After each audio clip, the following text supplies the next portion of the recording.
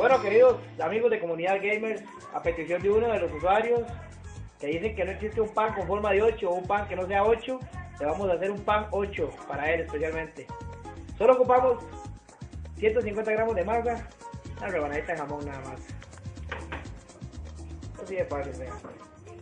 Le una bolita con los Super Bolillo 2000 traído directamente desde Alemania. Estamos a estirarlo como dándole formita de pizza, ¿no? Un poquito más de forma, que quede cuadradito, necesitamos que quede cuadrado. Estiramos más.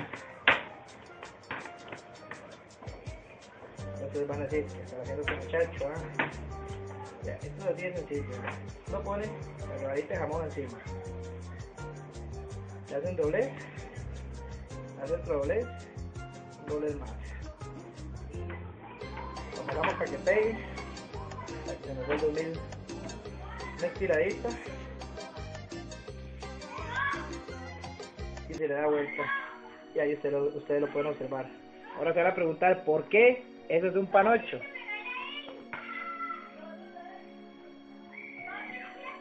Ahí lo tiene papá, el legítimo pan 8 relleno, rasuradito, carnudito, usted lo puede ver, ¿ah? Pura canita, se ve rosadito. Este es un pan 8 legítimo y genuino, ¿verdad? Mañana les hacemos el segundo video donde ya está horneado con su punto final y su toque. Ahí los vemos.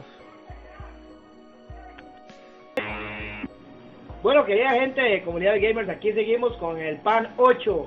Como ustedes pueden observar, ya él ya desarrolló, ya, tiene su crecimiento, entonces procedemos al toque final. El relleno, papi. Un pan 8 sin relleno no es un pan 8.